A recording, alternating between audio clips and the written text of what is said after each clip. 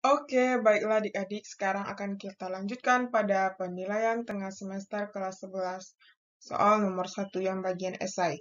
Di sini katanya, tentukanlah besar torsi yang diberikan oleh kunci pas pada baut dalam diagram di bawah.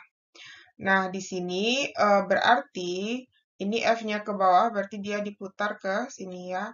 Nah, ini berarti panahnya itu adalah searah jarum jam. Berarti diketahuinya adalah uh, F sama dengan F sama dengan 50 Newton dan positif. Kemudian D diketahui 0,5 cm. Nah, atau sama dengan kalau kita rubah ke rubah meter, 5 kali 10 pangkat min 3 meter. Yang ditanya adalah tentukan torsi.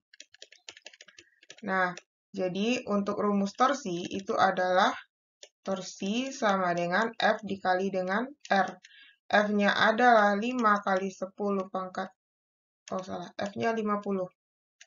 F-nya 50 kali 5 kali 10 pangkat min 3, berarti 250 kali 10 pangkat min 3, atau sama dengan 0,25 Newton meter. Jadi dapatlah kita nilai torsinya adalah segini.